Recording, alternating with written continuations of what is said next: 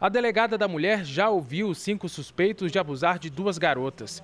Os possíveis autores são duas crianças de 11 anos e três adolescentes de 16 anos. Eles alegam que elas que chamaram, especialmente a irmã mais velha, para que eles fossem ao local ermo para ter relação sexual, só que não é o que os vídeos indicam. Os vídeos mostram claramente que há coação, que há ameaça.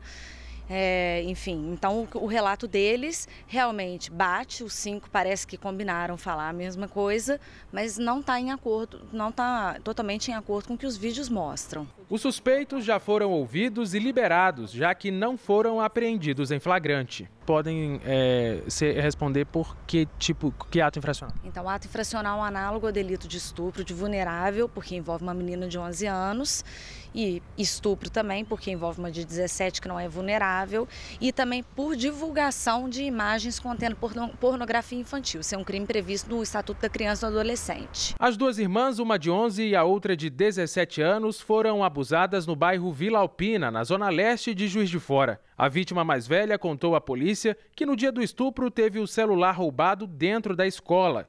Um adolescente teria ameaçado e disse que só devolveria o aparelho celular se as vítimas fossem ao local do estupro. As investigações vão prosseguir. O celular que a menor de 17 anos alega que foi roubado foi de fato encontrado na casa da prima de um dos menores.